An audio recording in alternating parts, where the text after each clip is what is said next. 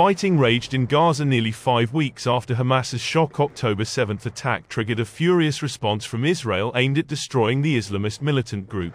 About 1,200 people, mostly civilians, were killed in Israel in the attack, according to Israeli officials.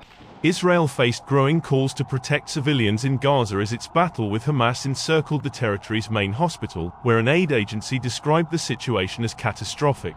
In Gaza, upwards of 11,000 people, also mostly civilians, have been killed in the war, the health ministry in the Hamas-run Palestinian territory has said. Israel revised down the death toll from last month's Hamas attacks in southern Israel from 1,400 to about 1,200, according to a foreign ministry spokesman. A deadly strike hit Gaza's largest hospital compound, the facility's director and local authorities said.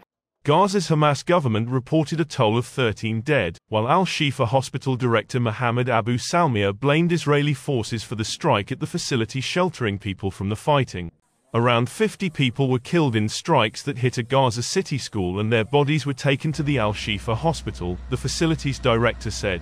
The World Health Organization warned that the health system in Gaza is on its knees amid the fighting, pointing to hospital corridors crammed with the injured, the sick, the dying, as well as tens of thousands of displaced people sheltering.